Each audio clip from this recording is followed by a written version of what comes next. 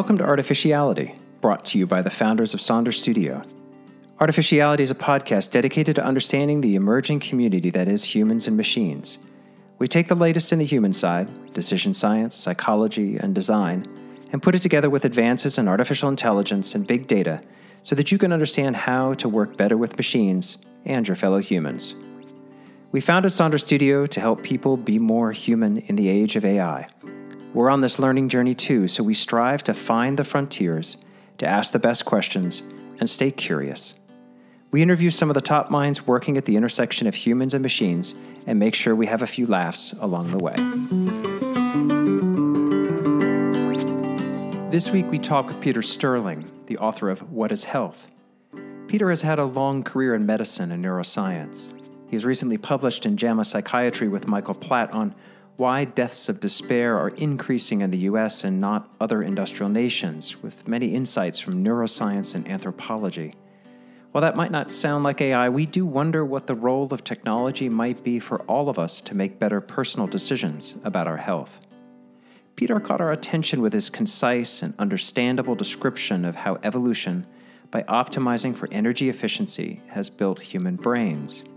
We care about this for a couple of different reasons. First, his work is relevant to how we make decisions as modern humans. This tells us things that matter to us, where there are evolutionary mismatches, and what we might do about it. Second, here at Sonder Studio, we care about how humans create meaning and how we learn and cohere with our communities, other brains, and by implication, other intelligences. This leads us to be naturally curious about how brains work, as well as how AI works. We are obsessed with understanding and designing for this interaction. We start our decision making workshops with key insights from Peter's book because it really matters to understand something about how our brains are built and what makes them so different from AI. We really enjoyed this conversation and we appreciate Peter's time with us. We think you'll enjoy it too.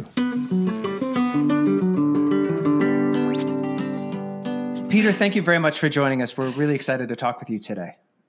Thank you for inviting me, Helen and Dave. I'm uh, glad to be here. Uh, let's start with a little bit about you. Can you tell us a bit about your background?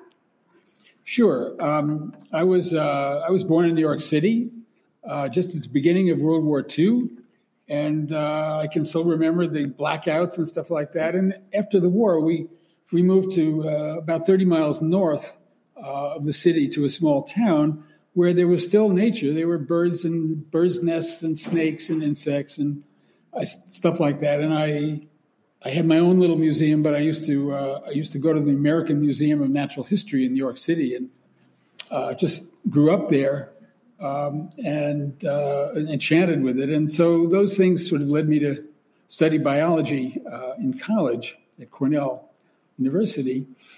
And there was another key thread uh, to my upbringing, which is that my parents were members of the uh, Communist Party of the United States. And, uh, and at that time, it was a legitimate political party that ran candidates for president and Congress and so on. And uh, so I was reared uh, singing Union songs. My father had grown up poor in a ghetto and walking picket lines and opposed to lynchings and racial segregation and so on. And uh, that led me during the summers uh, in high school to work on a family farm in the Hudson Valley, which is a, which is then a big agricultural region. And I still, at night when I can't sleep, I, I, I repeat my chores. I milk the cows, I collect the eggs, and so on. And uh, so this family was also uh, left wing, red, and, and musical. And so uh, Pete Seeger, who lived across the Hudson River, used to come on on Saturday nights and talk and sing and stuff like that. So um, um, rural life uh, then sort of was a theme in my uh, in my life, and now my wife and I, who was also a scientist, live on a small farm uh, in the mountains of western Panama, and amidst a community of Latino. Uh, uh, farmers and Nobe indigenous uh, agricultural laborers. So we're here half of each year, and then we we migrate uh, just following the the uh, winter, the uh, the warblers back north uh, a little. They, they're a little bit ahead of us uh, to Massachusetts for the summer. I love that. It'd be it'd be like me moving back to New Zealand part time and being a godwit. yes, following the godwits. Yeah. what about some of your key influences? Yeah, well, um, my parents, of course, for you know both encouraging my curiosity. My mother even would bring home snakes for me when she would find them. I mean, it was you know pretty uh, pretty loose household, and then for their their moral uh, commitment and moral conscience, and particularly my father was a very strong um, uh, leader in, in the family to doing doing the right thing, basically. And uh, and then in science, I had four uh, key mentors. I would say uh, a, a, wonderful professor, undergraduate named Howard Schneiderman, who's who's they're all gone actually. Um, and uh, for my PhD, uh, a Dutch neuroanatomist named Hans Kuypers, who was from Rotterdam and, and, was chair of Rotterdam for many years. And, uh, and then when I went to Harvard for a postdoc for a couple of years, I studied with uh, um, two guys, David Hubel and Torsten Wiesel, who, who were really pioneers at that point and went on to actually win a Nobel Prize. So um, and I, I learned from these guys mostly by watching and, and how they framed a scientific question, uh, how they how they answered it, um, and the the persistence needed actually to get it right and to get it published, which is a major you know a major uh, challenge. So, uh, and I also saw, particularly at Harvard, uh, some behaviors that I decided I didn't like and I wanted to avoid. So it was a it was a, a good lesson in many ways. I I can relate to to that journey to a certain extent, but um, uh, that's quite a background. Um, I picked up what is health at the beginning of the COVID pandemic, and wasn't really expecting to um, to find it so uh, eye opening. You know, it, it, it's it, it's a it's a gem of a book because it brings together um, this incredible, um, uh, right down to the to the molecules building up to how we behave and make choices today. Is and I want to congratulate you on being able to make something like that so sort of accessible and such an incredible journey. Um, how, how, did you come to to put that together as a as an idea to go literally from um, the very very start of everything to um, the functioning of our society today? Yeah. Well, um, I taught I taught school medical students uh, for forty years at the University of Pennsylvania and right from the start, and, and, and I arrived there in the late 1969, uh, in the middle of the Vietnam War, and was involved in anti-war activities, and also at the at the sort of the, the height of the civil rights movement. It was it had passed its peak at that point, but um, and I, I was struck from the start, disturbed from the start by what I thought is the fundamentally wrong sort of education that was going on there, and um, and the reason that it's wrong is it's all based on the idea of the body as something that's not connected to the brain. And this means that um, health is something that people either get by good genes or bad genes or by, by you know, accident. And uh, what I saw, had seen in the civil rights movement, my active my actions, my activities in the in the uh, the Black African American ghettos uh, in Cleveland, for example, was that um, people had strokes, they had uh, hypertension, uh, they had diabetes, and all and all these really terrible things that I'd never seen in a white in the white communities where I grew up. And I realized at that point that my uh, my grandfather had been uh, an immigrant in, and Jewish in that same ghetto, which had been a Jewish ghetto before I was there in Cleveland, before before yeah before I arrived, and uh, he also had hypertension and an early stroke. And I thought, well, maybe uh, hypertension is related to social tension, segregation, and so on. So um, by the time I got to Penn, I was sort of I had uh, two children, and I was you know starting my family, starting my lab, and so it was time to sort of move off the streets and into the library, and I began to look to to read up on how the brain, which I was you know studying pretty hard, would connect to all the parts of the body. And I found, uh, you know, I hit pay dirt pretty pretty soon. I found, for example, that um, there are nerves from the brain to the kidney, to the to the endocrine cells in the kidney that secrete hormones that that uh, tell the kidney to pump in salt water into the vascular system and raise the pressure. That there were nerves to the uh, to the pancreas, the insulin secreting cells, and so on. And these are um, these are people, and this was a time when electron microscopy was just identifying these synapses on these endocrine cells for the first time. So I was reading original literature. This was not in textbooks. But when I realized, gosh, the brain innervates all the endocrine systems, um, and the kidney and, and, and the vascular, all, all the blood vessels in the body have these nerve fibers wrapping around them in the heart. I realized, you know, uh, the brain really is controlling what's going on in the body.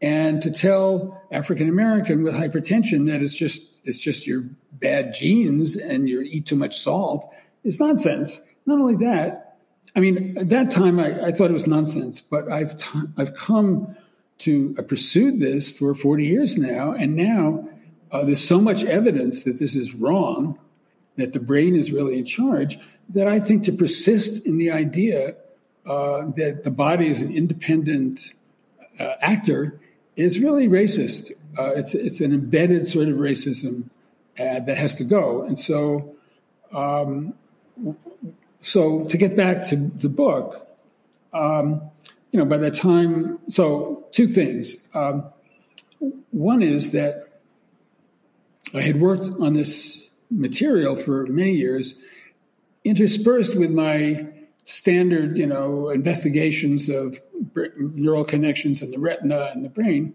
Um, but I, I, had arrived at this, as I've said so far, from the top down, from my political views and my social views, working my way down. And after I closed my lab um, around 2009, I began to write a book uh, with Simon Laughlin, who, who's uh, at Cambridge, uh, a British neuroscientist, a brilliant, wonderful man. And, um, and we, we ended up writing a broader book than either of us had, had in, intended, really. It's called uh, Principles of Neural Design. And um, uh, it took us a very long time to write, and um, and it's been very well received. And it's still it's now it's really sort of caught on in courses and graduate courses and stuff like that. Um, MIT Press, and we published that in 2015. And one of the things that came out, uh, something that Simon and I had long been studying and, and were interested in, is that much of the reason the brain is so effective compared to uh, AI, for example, it, I mean, compared to a supercomputer, um, the brain fits in a milk carton and it runs on 15 watts of electricity. You know, a supercomputer takes 20 megawatts, okay, in a, in a, in a warehouse. So we wrote this book um, to sort of explain um, it's you know some some level how how this efficiency where what are the origins of this efficiency and of course the brain uh, and and so we came up with 10 principles of, efficient, design and i won't go into them now but by the time we got done uh, I, I, had some con- confidence in my understanding of biology a deeper level and and one of the things we found is that every time we looked at something uh, some mechanism uh, and some principle, the brain carried it to to a level of essentially um, optimal efficiency. Biologists often say, "Oh, what do you mean optimal? Oh, this is nonsense. Uh, the evolution just does things good enough." Okay, And uh, if you if you talk uh, about uh, optimal optimality, uh, people laugh and and uh, scoff at it.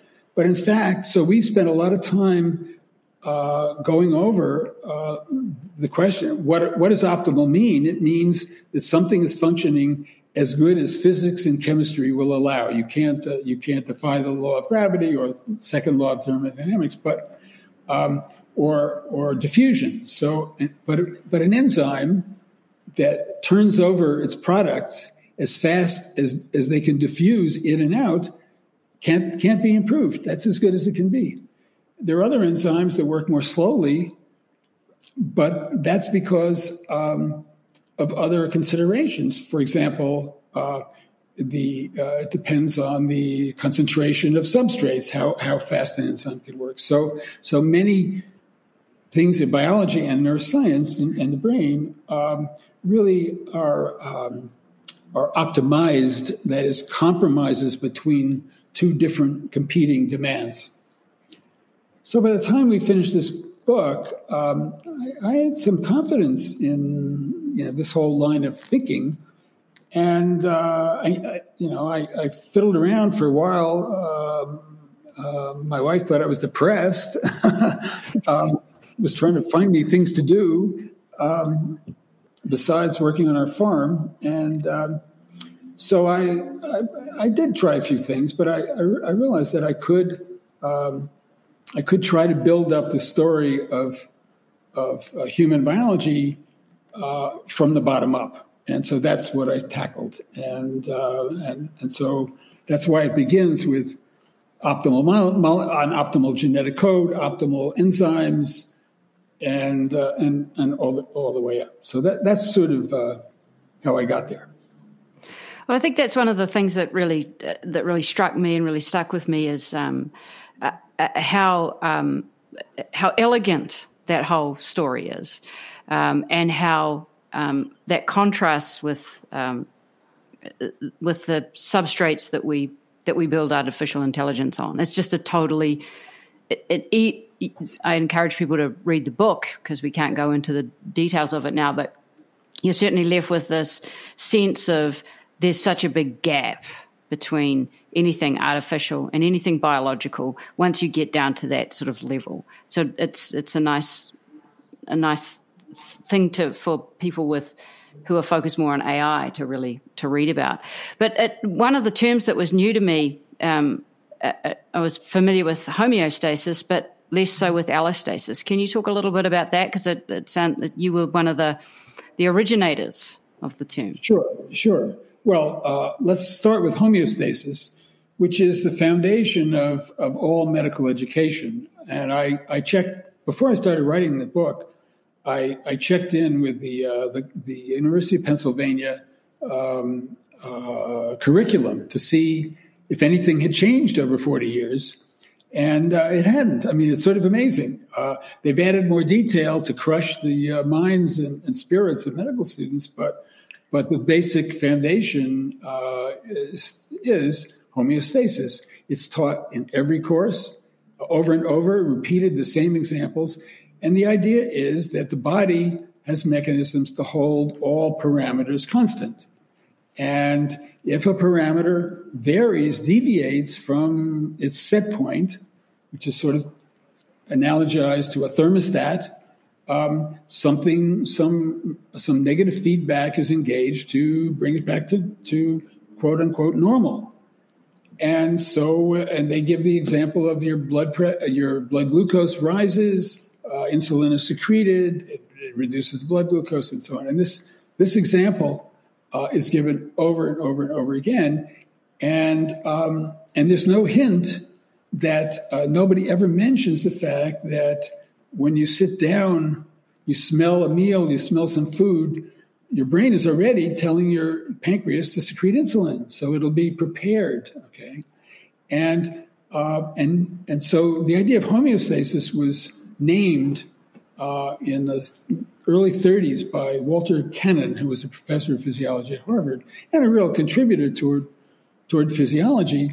but um, mostly they worked on anesthetized animals or animals where they cut off the brain. You know, they, they do a spinal preparation or a decerebral preparation. Well, not, not behaving animals. And so, of course, they were mostly looking at these feedback mechanisms and not the control of the brain planning and predicting. So, who was doing that? Well, in 1904, Ivan Pavlov received the Nobel Prize in Physiology and Medicine for what? For his studies of digestion in uh, awake behaving dogs. And what he showed was when a dog smells or sees bread, he starts salivating. And when he sees milk, uh, meat or smells it, he starts salivating. But he salivates different stuff, and, and, and his stomach starts to uh, secrete um, enzymes if he knows it's going to, if the brain knows it's going to be starch, is predicting starch, secrete amylases and starch uh, enzymes. If it, if it predicts meat, you get proteases.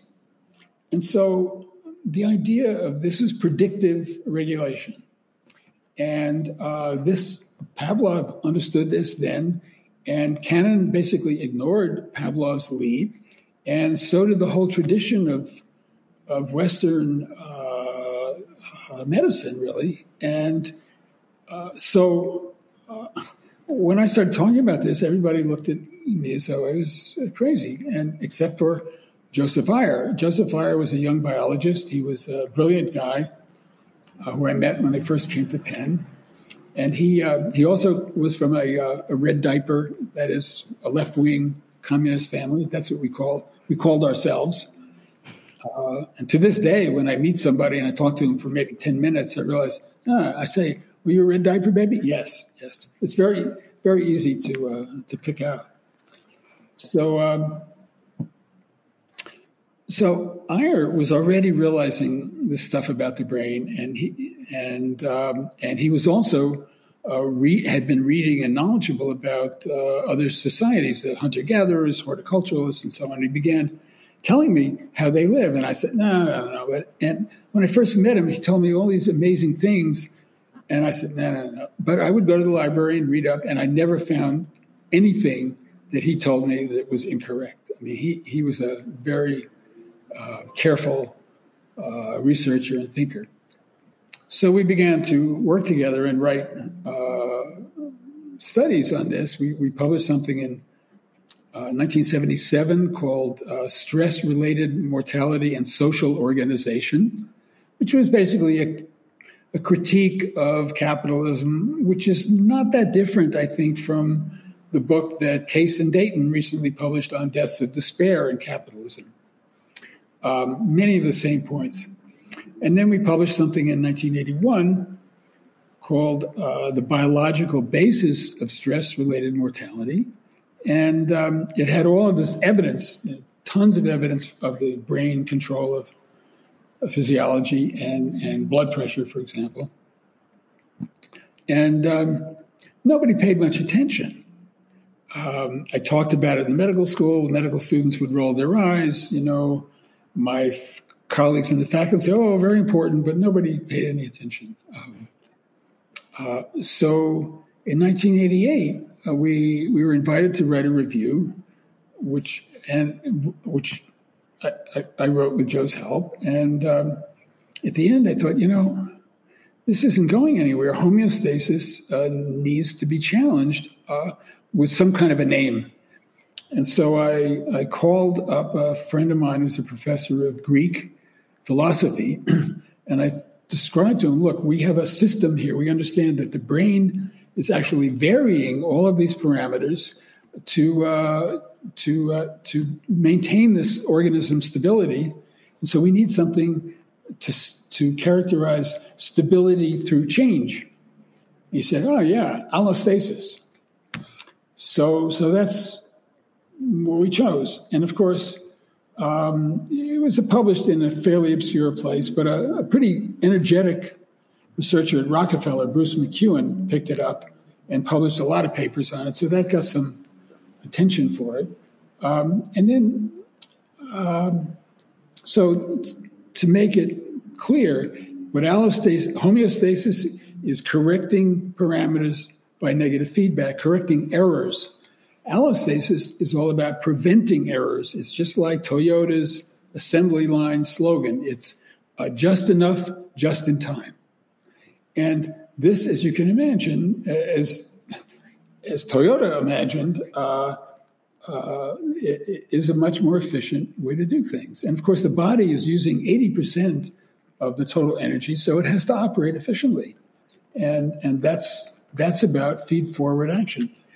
Does homeostasis exist? Well, yes, because the brain makes predictions, but you know, obviously, predictions can be wrong. There are many things that happen randomly that are not predictable, and uh, so you need ways to detect them and feed them back. But the body, to, to base our physiology on error correction wouldn't work. I mean, it wouldn't work. It doesn't work well in in assembly, you know, in artificial control systems, and uh, it doesn't work. And it doesn't work in the body either. So uh, this is catching on very slowly. The standard physiologist said, "Oh, this is a new word for something we already knew. Cannon already said this." Um, you know, uh, we don't need a new word. The People were pretty angry, some of them. And so I, I looked up uh, recently. So I, f- I published a, a, review with Jay Schulkin in 2019 on um, in Trends in Neurosciences on allostasis. And um, I, I, I prepared by looking up to see, well, what did Cannon really say in the end? And, and he published his last paper uh, uh, on this homeostasis in 1941, and it was completely characterized as a cybernetic Norbert Wiener kind of uh, uh negative feedback. And whatever he said in 1915 or 1920, I don't know, this is his final statement. It's, it's error correction. So, um, so uh, you know, people gradually switch from saying this is nothing new to accepting that uh, I have a point. And uh, now, um, this summer, there's going to be a meeting, a FASEB meeting in, in uh, New Orleans. I see uh, titled allostasis and something or other control. I mean, so it is, it is, it is, it's not there yet, but it's coming. And uh, I hope that the book, by laying out the basis from the bottom up will will be a useful uh, help. And one of the uh, the areas that that you particularly um, sort of describe and bring this all together um, to help the reader understand is in the reward circuit. And um, can you talk a little bit about all of this um, mechanism in terms of our efficient learning and decision making and governed by reward circuits? Sure. Um, maybe I could start a little bit, step back one notch before, um, which is that one of my ideas in in the book is to start by starting at the beginning and saying, you know, this layer was optimized, uh, single cell, single bacteria floating in the ocean were optimized uh, three billion years ago. Uh, they optimized their DNA code, they optimized their metabolic pathways, and uh, they couldn't do any better because they were very tiny organisms and they couldn't produce any more energy because their their power plant was in their membrane. All right, this is a four billion year um, story. I'm going to tell you in three minutes. You know, um, so. Um, so what happened was, um, so we they optimized their basic metabolism, carbohydrate, protein metabolism, so well that it couldn't be improved, and so we have it today. It was conserved because that's what evolution does. It it takes a good mechanism, a good idea, and it saves it, and it weeds out the bad stuff.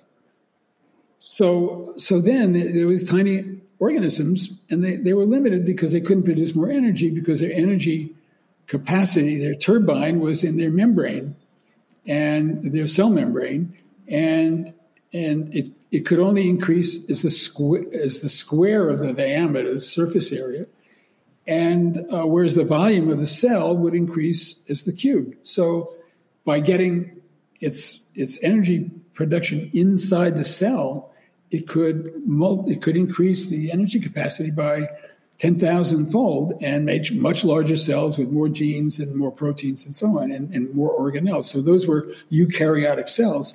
And that happened, I can't remember, maybe a billion and a half years ago. Okay. Um, and by the way, people now have measured, scientists uh, got a Nobel Prize for measuring the uh, energy efficiency of the turbine that produces ATP. ATP is the small molecule that is the currency in the cell of all of our chemistry that raises the energy level to run reactions. And uh, it runs our muscles and our brains and everything. And the, there's a, there's a tur- special turbine that ru- is driven by a hydrogen ion gradient that synthesizes the ATP. And they've measured the energy input to this turbine and the ATP uh, output, which is known uh, energy capacity, and it's 90% efficient. Okay, so 90, 100, I mean, it's close enough. It's, you know, there are reasons why you can't get to perfection. So uh, this is amazing. This was already in bacteria. So the, the, the ATP turbine that we have in our, in our cells in mitochondria, it, it's the same molecules, I mean, with minor, minor differences. Um, so, uh, so our energy producing uh, um, when we when we burn glucose to produce AT, ATP. That also is a highly efficient thing. It was invented by the bacteria and then coupled to this pro, this uh, this turbine. So, and by the way, when I started reading about ATPase, I thought, yeah, ATPase. It sounds, you know, it's another enzyme. That's you always call an enzyme an ASE or a synthase. Uh, sorry, this is not ATPase. This is ATP synthase. Okay, it, it makes the ATP. Sorry, incorrect. So, um, uh, so you have this very efficient synthetic mechanism, and um, uh, that's been conserved. And then you have eukaryotic cells, which have expanded by you know, five five orders of magnitude or something um, and many more, many new genes and that we've invented at this point.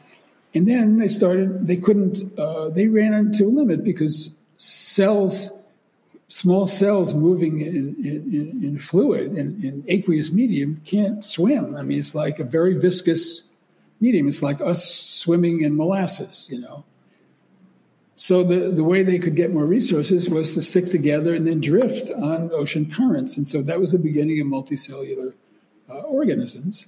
And um, gradually um, they assembled and they fiddled around with various forms. Um, uh, and then they arrived eventually at a, uh, at a bilateral sort of or multicellular organism that had actually complex organs you know, liver like things and muscles and stuff like that. And um, th- those needed coordination, and they needed to find uh, to feed at a certain time of day. They needed to find out where the right pH was and right, the right where there were mates and food. Um, and these were uh, the first bilateral organisms were apparently uh, uh a, a, marine worm. And uh, I kept I kept reading that uh, our, our, bilateral ancestor, you know, was a, a bilaterian, and I got to wonder what what did what did we look like back then.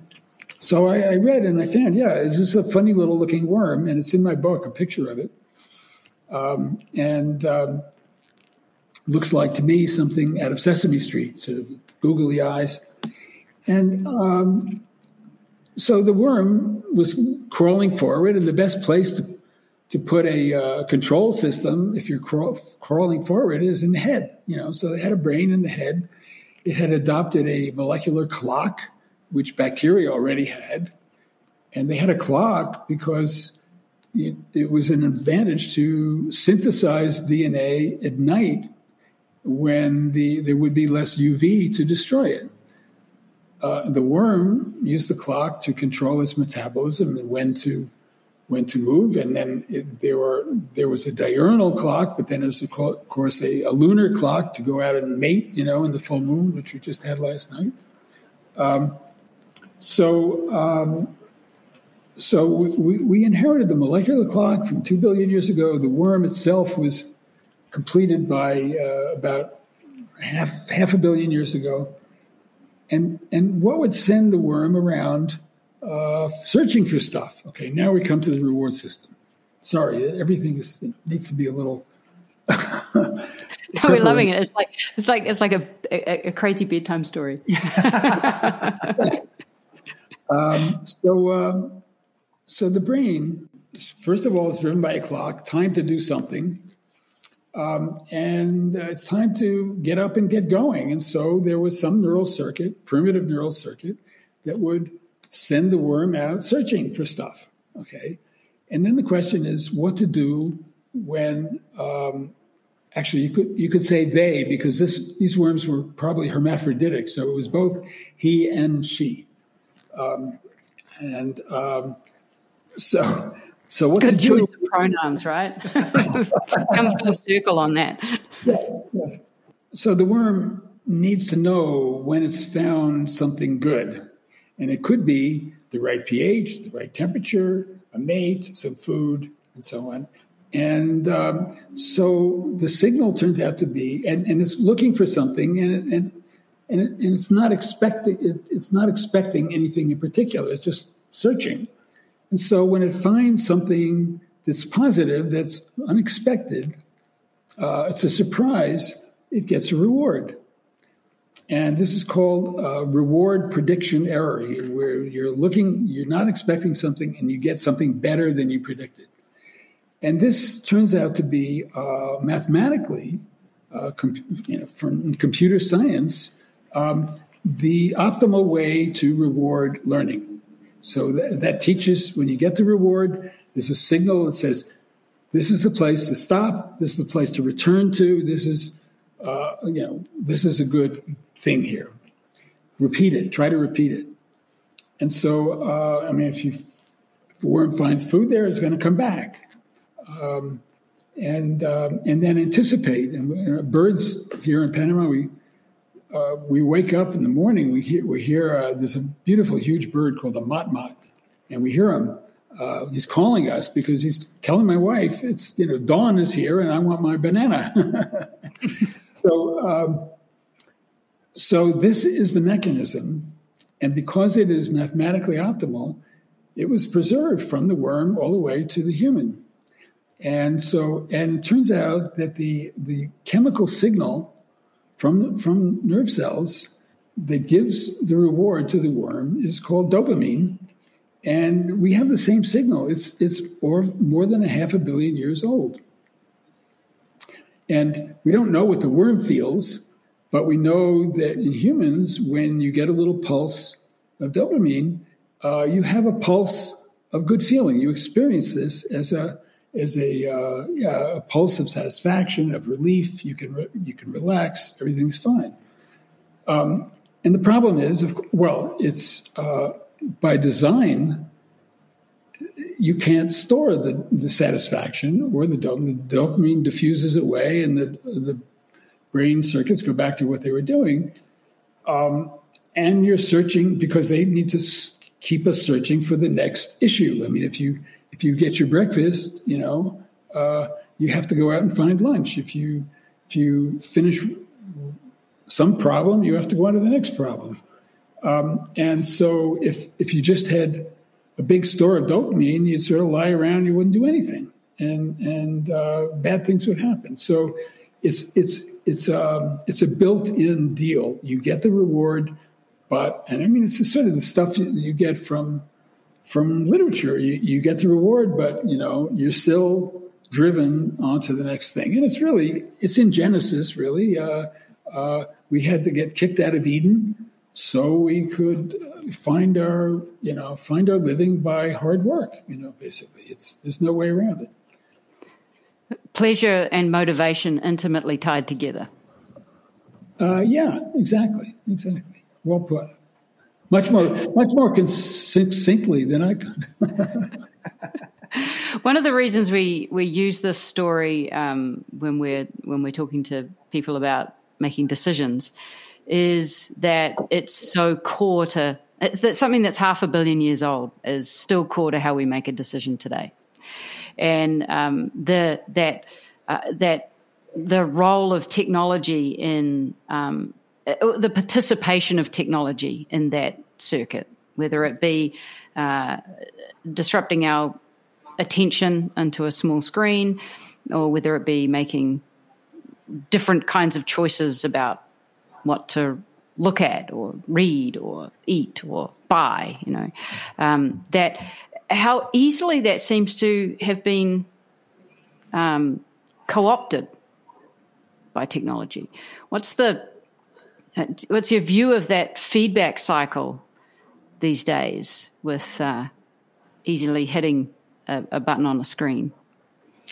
Well, yeah, um, uh, I think I think the so people say it's co-opted, it's hijacked, and, and so on. But I, I think the real problem isn't the technology. The problem is that the sources, the natural sources of surprise, have been eroded. Okay, and um, that's that's modern life. I mean, so whereas we uh, hunter gatherers uh, and horticulturalists go out in the morning and they get a looking for a root or a berry or a rabbit or a dry cave or a warm fire, you know, comfort, food. Um, they they have many possibilities of finding these things and getting the satisfactions, and they share them because that's that was part of uh, our 200,000 years of our own evolution. Is that when you have resources that are uncertain, you do better when the community shares them. And so uh, our reward circuits reward us for sharing. Uh, they reward us for giving. Uh, they re- reward, reward, us for being gifted, uh, given to. Uh, all kinds of things need for human society to be rewarded to make it work. Okay, and why we need to do that is another question, which probably you'll ask. But um, I think the problem is that when you go to a supermarket, um, th- there is no very little surprise. You know, uh, one, one, of the guys who works um, on, on, this, uh, Wolfram Schultz, who sort of was a big deal in this reward circuit, said, "Well, I, I get rewarded when I when I find a, a good olive oil." And I, and I, I say, Wolfram, if you you know exactly where you're going to be, it's on aisle seven, and there's a hundred of them, and and you, if you had to live on that, that sort of reward, you, you, wouldn't. It's not it's not possible. And he was one of the guys who showed that if you record from a dopamine neuron in the brain, monkey brain, um, and you and you see it's firing in response to unpredicted rewards, you have this big spike. If you have the same nerve cell and you, you line it up on the rewards that the monkey was expecting, there's nothing. So I doubt that Wolfram Schultz gets the dopamine he thinks he does from uh, from uh, from aisle seven. No, I mean when you go and so it's the same thing with most industrial uh, modern things. You sort of know what's going to happen, and uh, and since it's not a surprise, the only surprise can be an intensification. Oh, I got more, I got a new deal, all I can eat. Or, you know, you go, what I say is from a Mac to a Big Mac to a Whopper, you know, and because you have to keep upping the ante. It's true for all of the drugs that, that people take um, uh, alcohol, nicotine, uh, opiates, uh, amphetamines. Um, uh, cocaine, those all work on this dopamine system to release big surges of dopamine. And it's great, you know, for a moment, and then it dies away because that's the way the system works. And not only that, uh, the next time you go for uh, for a, a snort of cocaine, it has to be bigger. Why? Because our receptors for, for these molecules um, are attuned to the average level. And when you raise the average level over a period of time, the receptors turn down. This is the way all, all biological receptors work. They, they monitor the mean level and they, they turn up when the level is low and they turn down when the level is high. It's like photoreceptors, which I studied. Um, um, you, if you turn up the light, photoreceptor sensitivity turns down. If you turn down the light, starlight, it's it's maximal. And so the the society and particularly uh, medical uh, thinking calls addict, drug addiction. They call it substance use disorder, as though there's something wrong with the brain. I think this is completely wrong. It's it's way it's a completely non biological understanding. Uh, uh, people are, become addicted. Uh, it's not a disorder. It's just exactly what you would expect that system to do if you were treating it to large surges of this stuff when it was tuned to a, a low average level. So, so none of these things are disorders. They're very hard to uh, unlearn once you tune it up.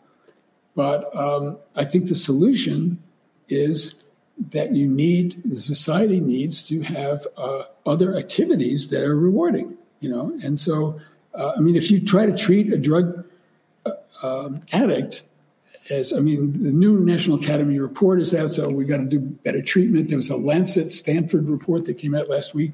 We have to have more treatment for addicts. It's very difficult to treat an addict, and the or for an addict to treat themselves.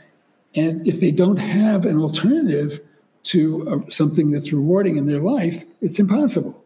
So what we need to do is to uh, provide uh, and, and jobs, you know, a dead end job that you learn in 10 minutes is, is not going to be rewarding.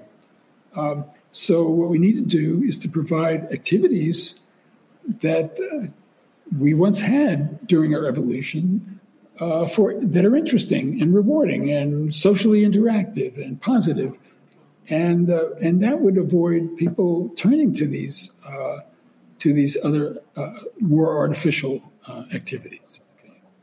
There's so much to unpack there. I'm thinking about like job automation and stuff, but carry yeah. on. You've got. Well, I, I, wanted to go back to a point that you just made about um, sharing and the and the positive reward that we get from sharing with each other. What, why does that exist, and what's going on in the? Um, how much is that connected to the development of culture where we share things, music, art, those kinds of things? Um, what have you uncovered there? Sure. Well, my my story about this is um, uh, that again, as part of uh, brain efficiency. Okay, um, the brain early on uh, became more efficient by dividing itself up into little specialized modules. Okay, so there's there's motor, there's sensory, there's vision, there's hearing, but then the the whole cerebral cortex of the human is divided up into roughly 200 smaller uh, areas, modules, and even within them, there's a substructure to divide them further, specialize them further. So, uh, an individual uh, with 200 little areas that are specialized, that's a limit. He can't, he or she cannot fit more stuff inside his skull because it's limited and uh, you know to to re-engineer a larger skull you know has all kinds of other problems. In fact and it gets more costly. In fact neanderthal had a uh, had a larger brain than we did like 30% larger in body. And uh, and we uh, we sort of uh, out competed them with a smaller brain. So so an individual brain as effective as it is uh, is limited and so the solution that our species seems to have chosen, which I document in the book, is that every person gets a somewhat different set of areas. Okay, and so there are there are areas to recognize faces, several of them, and uh, but some people don't get them. Uh, Dr. Oliver Sacks, for example, is a famous you know uh, neurologist and commentator, couldn't recognize people's faces or remember them. Um, when I when I was reading about this, I thought, well, maybe if so, if some people don't have any face areas, maybe some people are super recognizers. And I wrote around to a few friends, and I found, yeah, there are people who study this.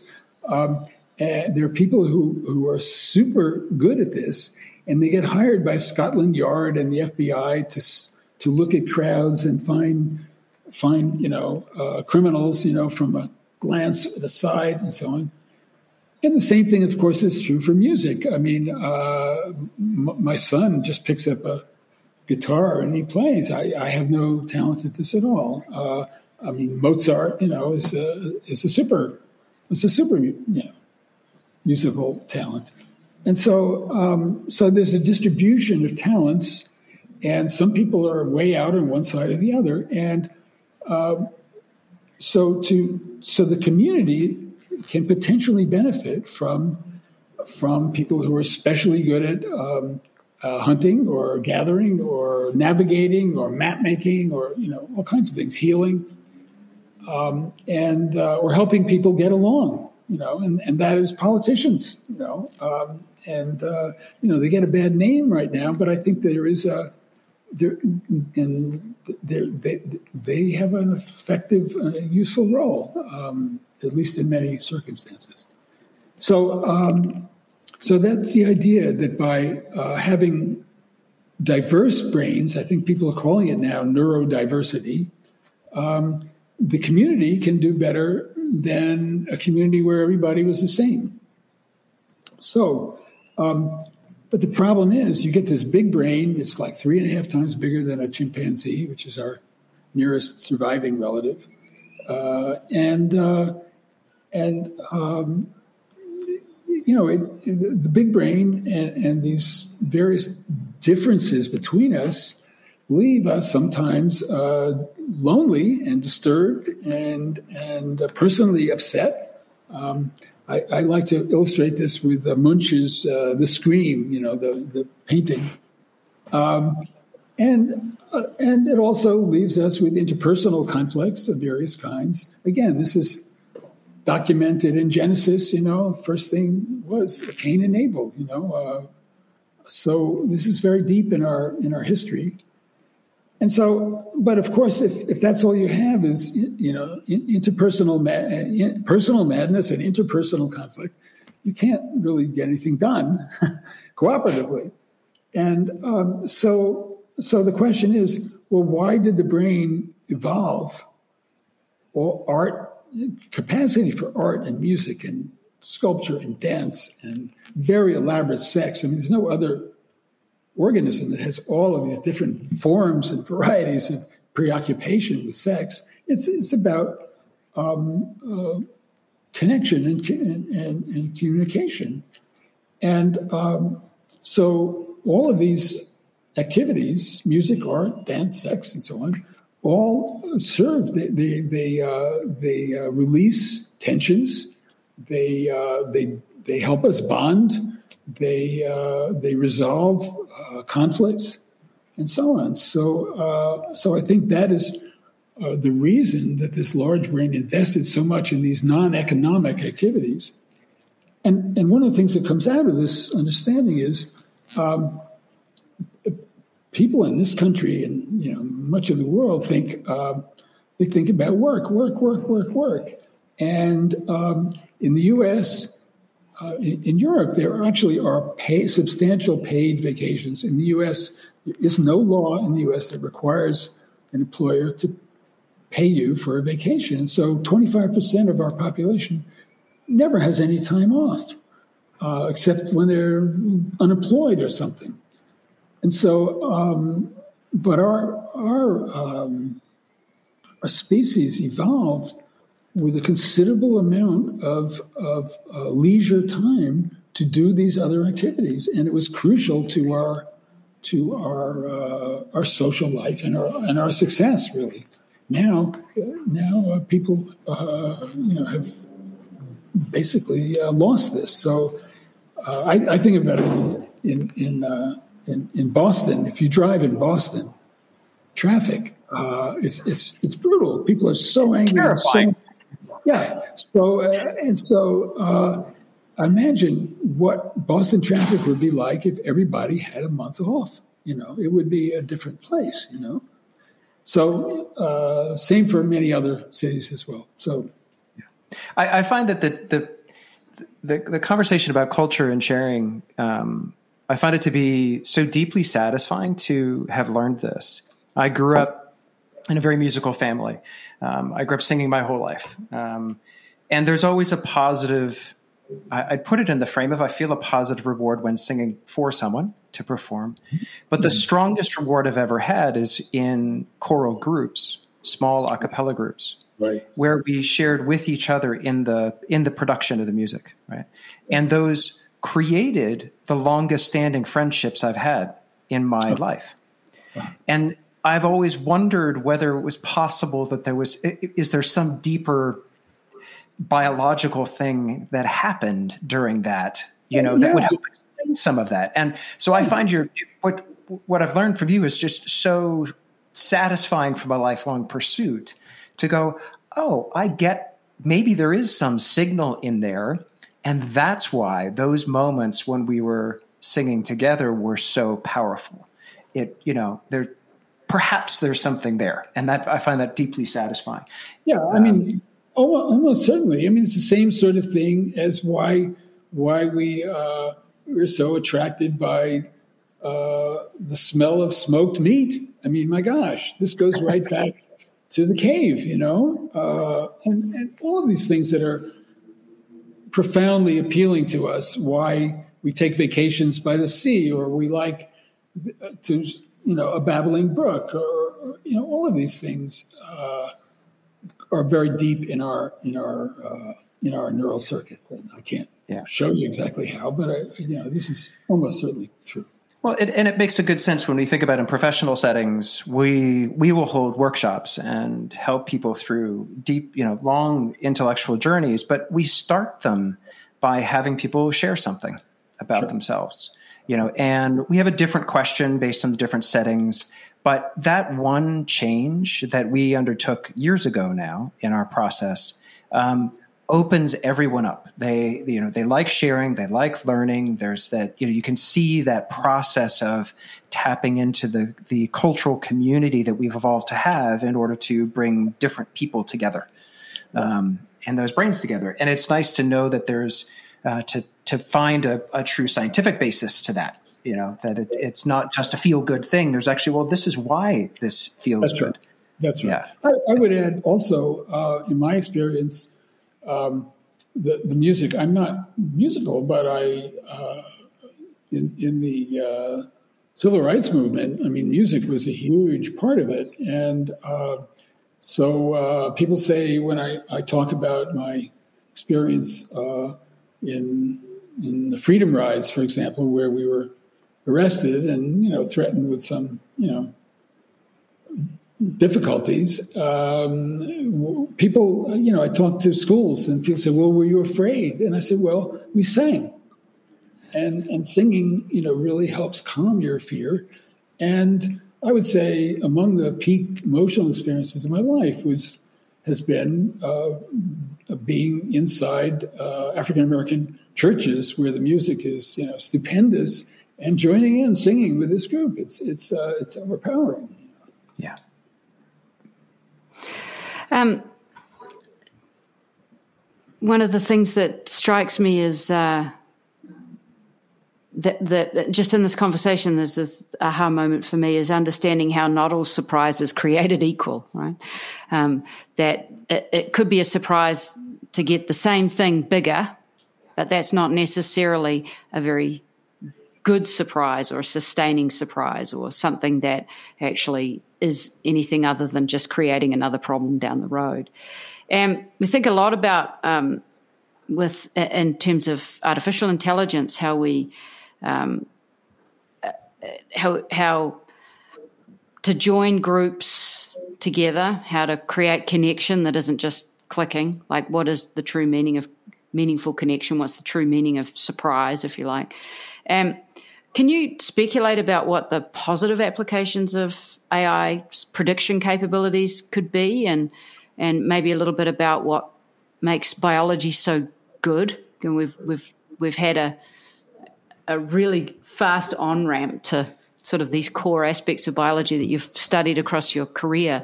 Um, be really interested to hear what you would speculate on. Well, uh, I have no problem speculating, but I know so little really about AI that uh, I, I, I shouldn't even imagine trying to tell anybody what AI should do. when you asked me um, uh, in, in, the email, well, what does biology? Uh, why is biology so, so good at, at, some of these things, and what might pay AI pay attention to?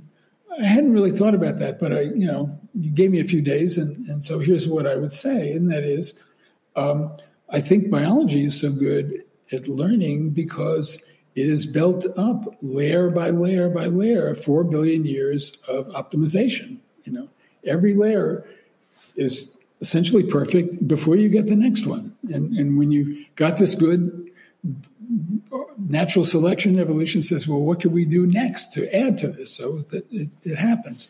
So there's a really multiple levels. I mean, I, I, studied brain, broad brain connections when I started, but I ended up studying, uh, you know, the, the uh, nanometer scale uh, uh synaptic vesicles and how their re- precise release, you know, control contributed to, for example, detection of a single photon in the eye. So there's this 10 to the ninth scale, spatial scale, structural scale, and then then t- in time there's there's a you know 10 to the 12th uh, temporal scale uh, of these things that um, that uh, natural selection has has made use of. And uh, so I think that's something. So, so that's something that AI somehow needs to come to grips with. The other thing is that uh, we've already talked about is that um, the the uh, the most effective thinking modules are social modules among humans, and they work because uh, everybody starts out with a, a different set of areas. We practice what we're best at, our talents, because that's most rewarding. So that's how you get a writer and a musician and a singer and a so on, carpenter. Um, and um, and so that that gives us, with our life experience, a tremendous diversity. And so when you bring a group like that together, uh, especially if you can get them to share and get along, then you have these different points of view to solve a problem. And um, and uh, and then you have optimally you have some older people who with the most experience and some wisdom and a decent temperament to help bring people along you know to uh, to solve to to resolve the different points of view to optimize the uh, the results of these different points of view.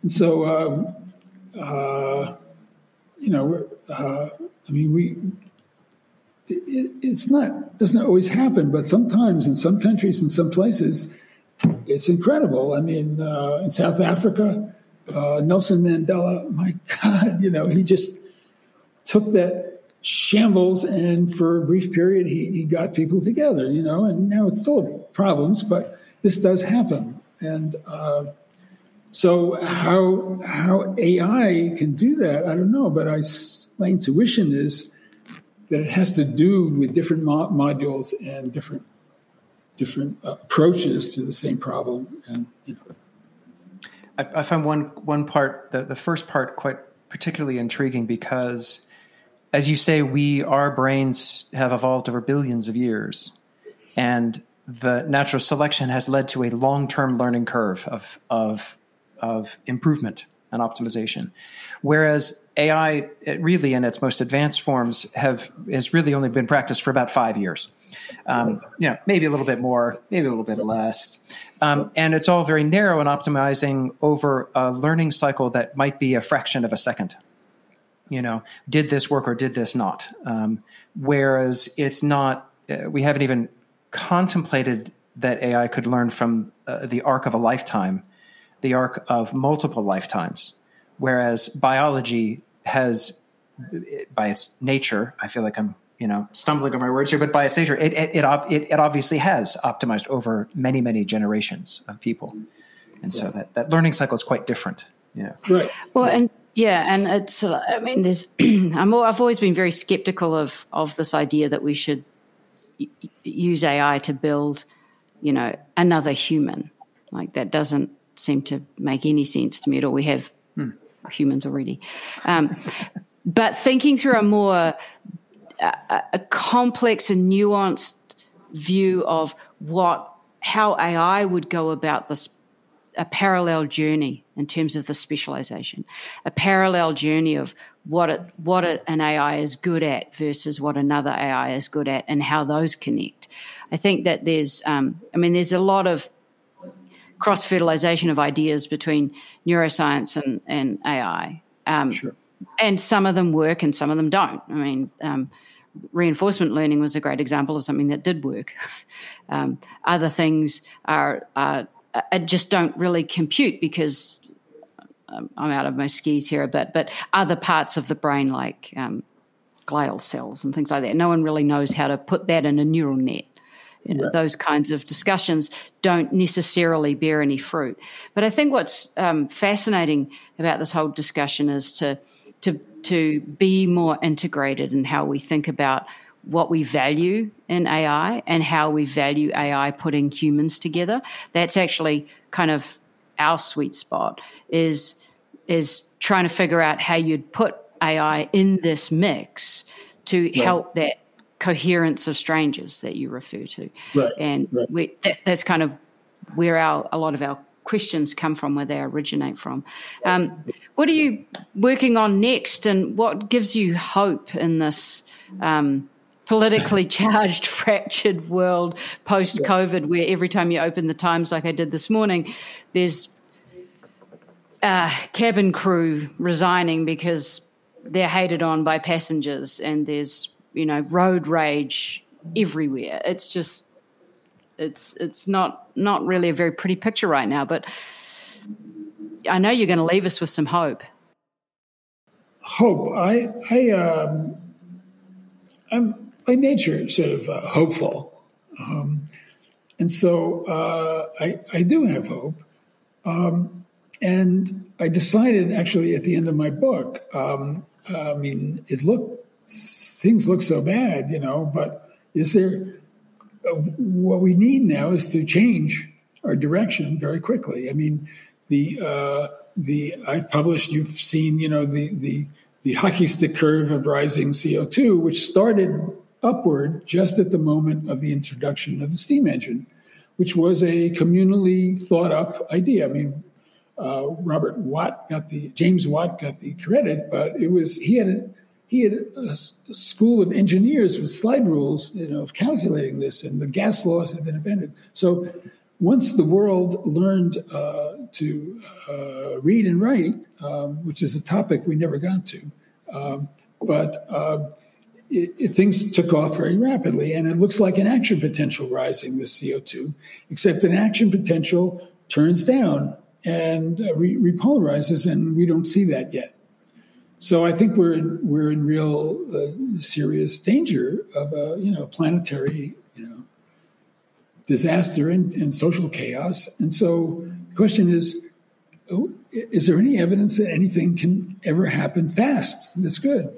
So I chose one example, which uh, I, I, recall from my my life, which is uh, it, during World War, beginning of World War II in the U.S.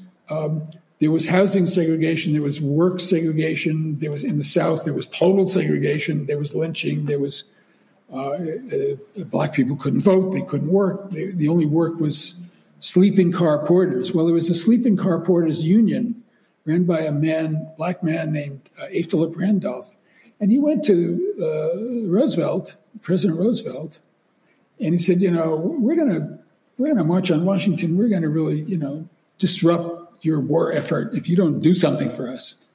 And Roosevelt said, well, we'll start a, a, a, uh, a, federal program for fair employment practices, and we'll do something. So, uh, so around 1940, by 1944, it took a while, and, and the armed forces were completely segregated. Um, and um, 1944 in Philadelphia, uh, the uh, the Philadelphia Transit Authority, whatever it was called, put two drivers, two black drivers. They trained them and bus drivers, and they put them. They hired them. And the white 10,000 member white union went on strike. And Roosevelt said, you know, if you guys aren't back at work tomorrow, I'm going to draft you. and um, and they went back to work, of course. and so that was the start of of integration of labor in, in the U.S. It was a big thing. And that's 1944. 1948, Truman comes in, and one of the things he did right away was to, with a stroke of a pen, integrate the armed forces. And so no more black brigades and white brigades. It was, you know, mixed. And maybe this didn't take right away, but by the Korean War uh, under Eisenhower, uh, early 50s, it was done. And so, so actually, in the U.S., the, the most huge steps to integrate society was the the military. So, so now we get up to 1955, only 10 years really, and that's when Martin Luther King and the bus boycotts started in, in Montgomery, and buses got integrated. By 1960, again, 15 years, um, these these sit-ins in, in the South uh, at lunch counters got integrated. One year later, with the the buses, interstate travel, which is what I was involved in in, in, in the Freedom Rides. And once we started the Freedom Rides, there was a few little violent episodes, but um, and John Lewis, you know, was beat up. A few other people were beat up, but by the fall, and we started in May, and by the fall, it was a done deal. And then the next year or so, there was a vote, the Voting Rights Act, Civil Rights Act, and so in 20 years, really, I mean, we're, just, we're still not done, okay? I mean, black lives still don't matter enough. But in 20 years, it was a huge uh, change, turnover from Jim Crow life and lynching to something new. And so, uh, and that didn't have a violent revolution. It had some passive resistance and Gandhi and, you know, Martin Luther King, great leadership, bringing people together. So I, you know, I have hope that that, that could happen. Okay. If you ask me, do I have optimism? Uh, I don't know. I, I, think you're really in danger of, uh, I mean, after all, evolution is a record, a fossil record, you know, of species folding themselves in that couldn't adapt. And I think we, we are in danger of, I mean, life will go on on the planet, but whether human beings will, I, I, I don't know. Yeah, I don't know. Thank you very much. This has been a, a fantastic conversation of biology and evolution and culture, and actually, they all tie together in such an important way, and that it's a it's been a fascinating journey. Mm, really appreciate you your time. Well, thank you. I've I've had a great time, and you, you guys do very good job. I, I enjoy them. Looking at some of your other ones, they're they're really great. Thank you. Thank you.